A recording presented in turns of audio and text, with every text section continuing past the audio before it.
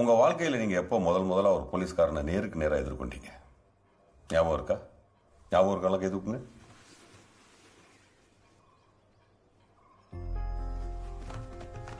அப்போ அந்த அனுபவம் உங்க எல்லாருக்குமே ஞாபகம் இருக்கு. அதான் போலீஸ்.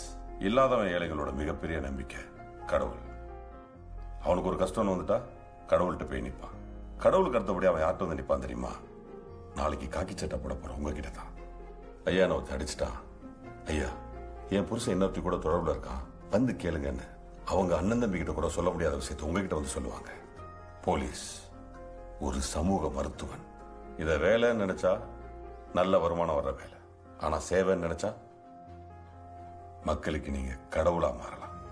உழைக்கும் மக்களோட உரிமைகளை அவங்களோட நியாயமான போராட்டத்தை பெண்களை குழந்தைகளை மதிக்கிற பண்பை எந்த சூழ்நிலையிலும் என் நேர்மையை யாருக்கிட்டையும் காசுக்காக விற்க மாட்டேங்கிற துணிச்சலை இந்த பயிற்சியில நான் உங்களுக்கு தர முடியும்னு முழுமையா நம்புறேன்.